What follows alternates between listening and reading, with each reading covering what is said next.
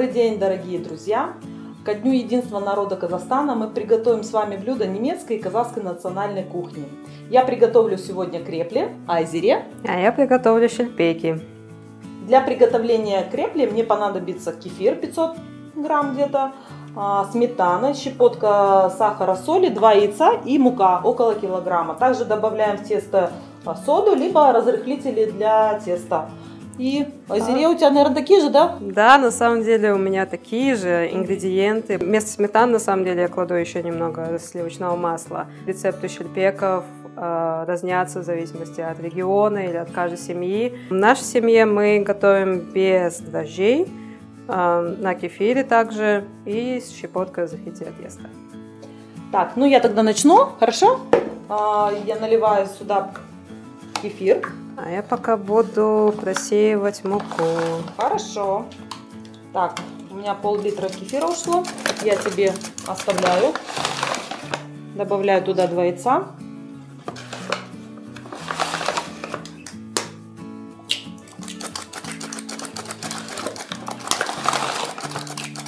А у меня тоже где-то пол килограмма муки уйдет. Нужно постараться ее хорошенько просеять, чтобы не было комочков. Угу. Но я муку буду в конце у себя добавлять. Это на самом деле умно. Посмотрю, как получится, да? Так, добавим немножко разрыхлителя. Разрыхлителя ты сразу, да, добавляешь? Ну да. Хорошо, я вот добавила два яйца, у меня вот пойдет сюда сметана. Вот сюда прямо у меня на 500 миллиграмм кефира уйдет э, целая пачка сметаны 200 грамм. И все это тоже тщательно размешаю. Я добавлю совсем немного э, соли и сахара.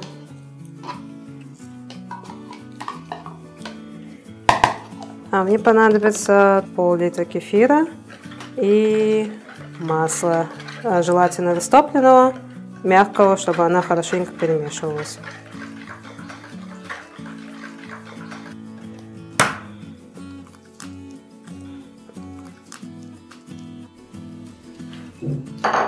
И добавляем масло. Размешиваем до однородной консистенции. Так, я добавила немного сахара, немного соли, то же самое перемешиваю. И сейчас я буду точно так же, как и азере, просеивать через крошку э, муку. После того, как я добавила все э, жидкие ингредиенты, это кефир, яйца и сметану, я буду уже теперь просеивать муку. Я могу, да, взять и будем добавлять около килограмма муки. А у меня получилось немного жидкое тесто, поэтому мне тоже нужно будет добавить муку.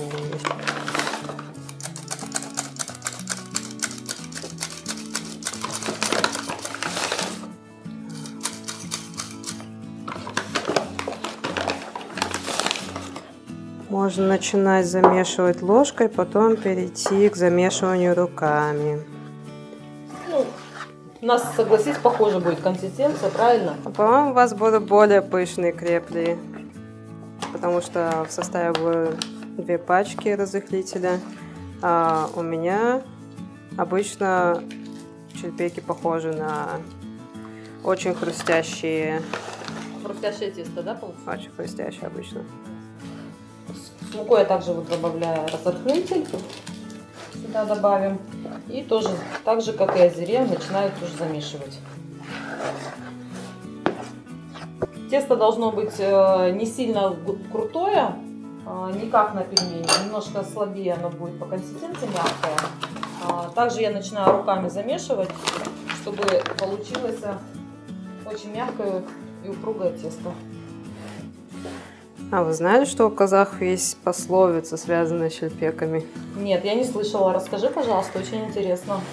А, есть одна легенда о том, как один охотник был таким щедрым, что всегда делился своей едой, найденным добром в горах. И однажды ему приснился страшный сон, и он сказал своей жене, приготовь семь шельпеков, угу. тогда нас обойдет семь бед. И? Вот и существует пословица «Семь шельпеков э, спасет от семи бед.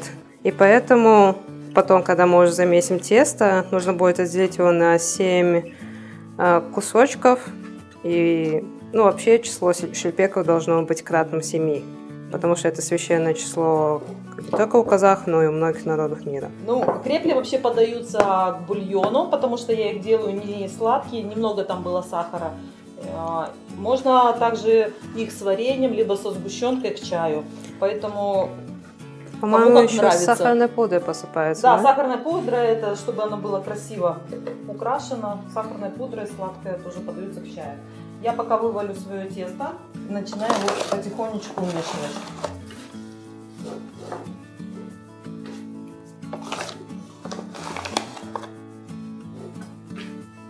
Ну, вообще баурсаки тоже а, а, готовятся, но только дрожжи да, добавляются. Мы обычно делаем баурсаки из оставшегося теста от читбеков. Они такие же. А, да? Хрустящим получается. Хрустящим Просто получается. не круглые, а разные формы. Угу. Треугольники, маленькие квадраты. Так, мое тесто замесилось до подходящей консистенции. Я могу ее переложить на стол, предварительно присыпав его мукой. Ну, у меня тоже уже тесто хорошее, не сильно твердое, как на пельмени, оно более мягкое, податливое. И, конечно же, нужно, чтобы она чуть-чуть постояла, минут 20-30, для того, чтобы она еще стала мягче и эластичнее. Я ее положу в чашку, и можно накрыть его полотенчиком и оставить на минут 20-30. У меня уже все. Тоже немного присыпав мукой и накрываем. Полотенчиком, да? Можно. Все, да? Вот так. Спасибо. Прошло минут 20, да, где-то. И можно да. его теперь разделывать, раскатывать и жарить. Присыпаем мукой.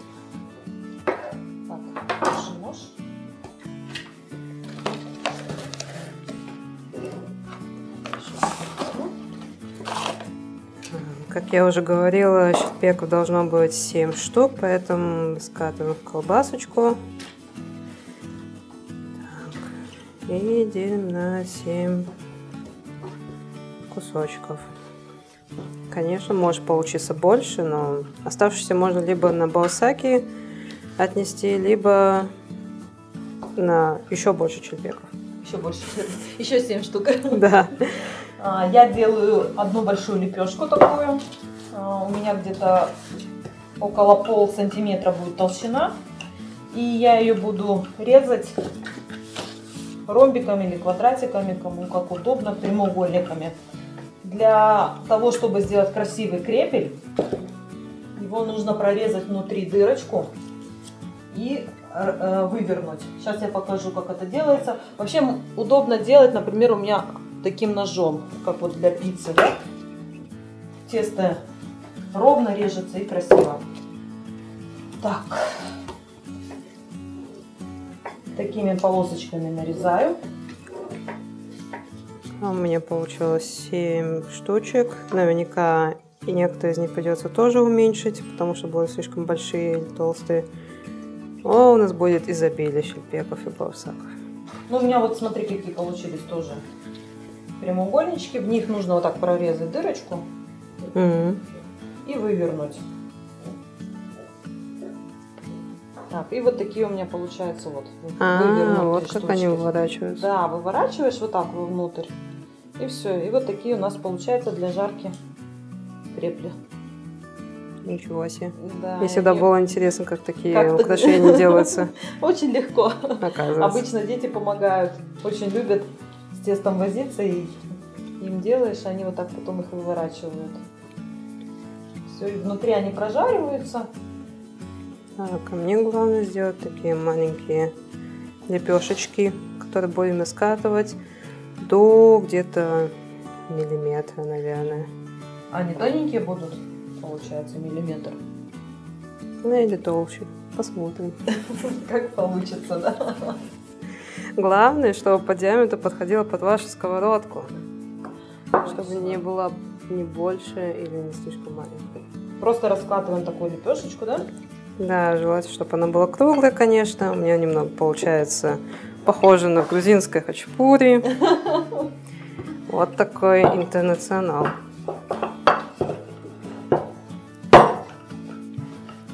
Ну, главное, конечно, чтобы они были равномерны. Как зрители уже могли понять, я не самый опытный пекарь. Ну ничего, какие годы, еще все впереди, можно научиться. О, с опытом все придет. Ты знаешь, если чтобы они прям ровные были, круглые, можно а, положить на них э, крышку, Тарелочку. тарелочку, да, вырезать, и вообще будет тогда идеально ровно. Да, конечно. Можно попробовать. Можно попробовать, да? Смотри, нет? Если я вырежу. Пойдет. Пойдет? Хорошо. Ну, давай попробуем. Вот, почти круг.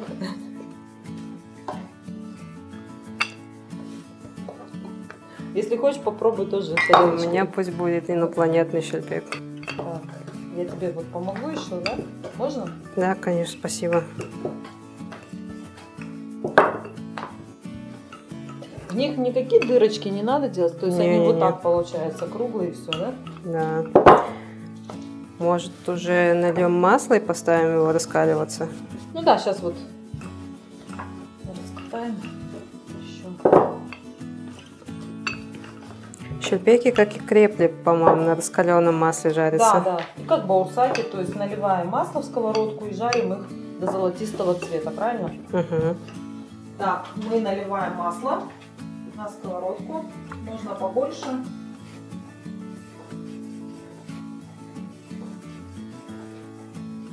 Так, а зире мы сейчас раскатываем тогда лепешки, и я пожарю на масле, мы включили его, пожарим крепли, а Мгм. потом тогда черпеки. Да, отлично будет. Масло у нас уже почти разогрелось. Возьмем такую досточку, чтобы было удобно. Перекладываем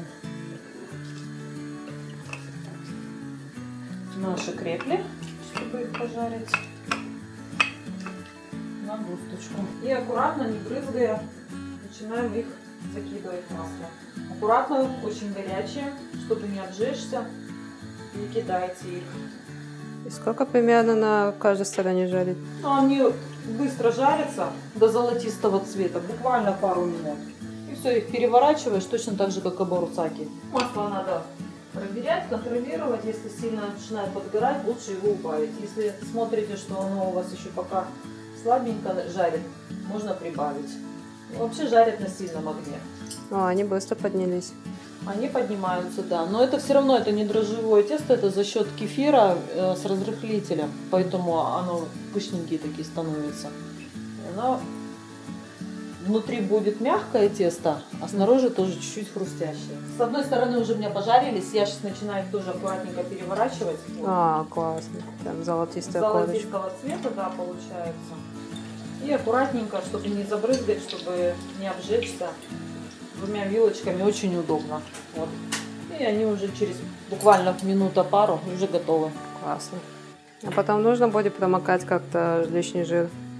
Можно а, положить э, салфетки на дно тарелки, и тогда лишний жир стекет. Но, как правило, оно не такое жирное тесто, потому Мгм. что внутри нету ни масла, ни каких-то либо жиров. Окей.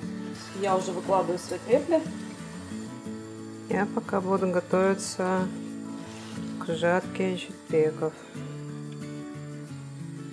Нужно, чтобы она не сильно сдувалась. А, все.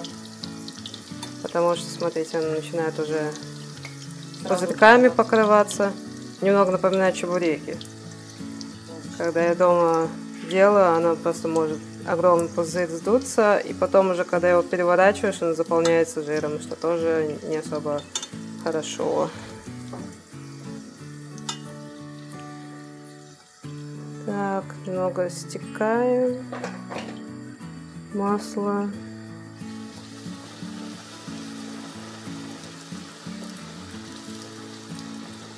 И придавливаем, чтобы равномерно прожарилось.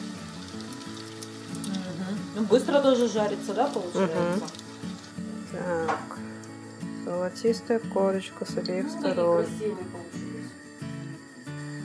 Так, вот тарелочка тогда. Так, держим так, чтобы все стекло.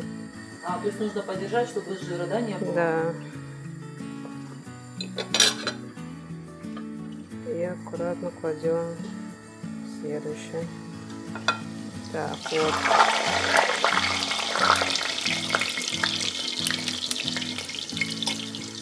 Будьте осторожны, она брызгает.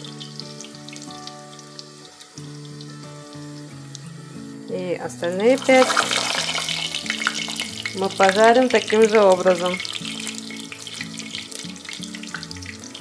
Соблюдайте меры предосторожности. Мы дожарили свои лепешки, шерпеки И крепли. Да. Последний штрих, можно их украсить сахарной пудрой. В общем, на любителя. Если это к супу, то, конечно, не надо сахарной пудры сыпать. Но мы сейчас будем чай пить, да? И мы так обильно посыпаем красиво сахарной пудрой. А щерпеки можно есть с вареньем по вашему вкусу. Приятного аппетита! И с днем единства народа Казахстана. Пока!